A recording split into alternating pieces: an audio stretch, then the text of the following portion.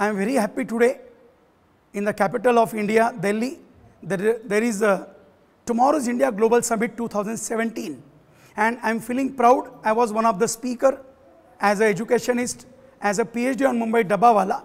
And since morning, I found many good speakers. They were giving lot many good messages how Indian youths can work best for our country. Because our country's youth are the only backbone and pillar of our country.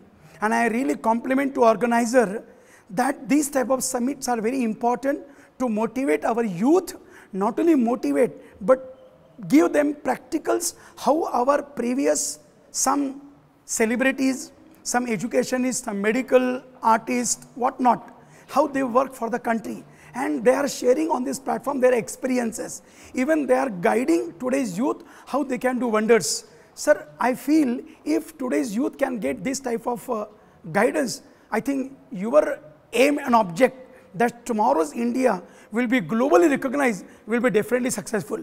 And my best wishes to you and organizer, I will appeal to our Indians in this type of summits, please participate.